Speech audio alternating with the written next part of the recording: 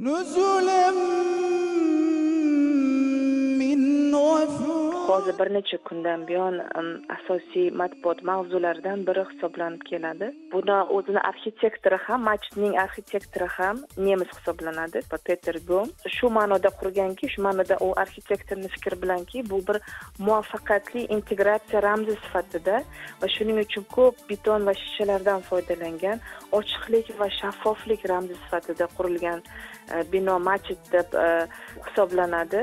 Shahar hokimini ham fikriga ko'ra bu E, bir muvaffaqiyatli binolardan shahar yutug'iga kiradi ko'lim shahrini.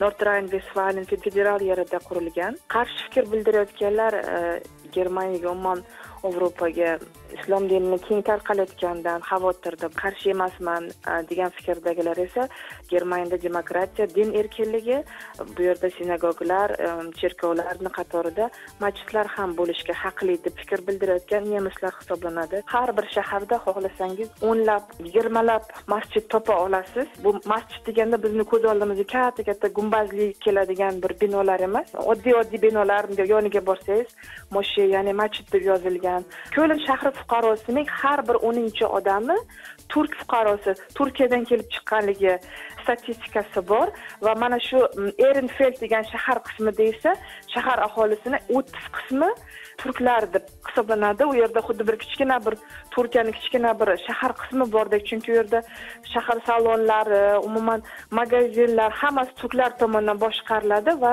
shu masjidni qurishga ehtiyoj bo'lgan katta masjidni qurishga. Bir ming bir yuzta odam namoz o'qiy oladi va undan tashqari juma kunlari masjid o'zini eshiklarini turistlarga ham ochyapti.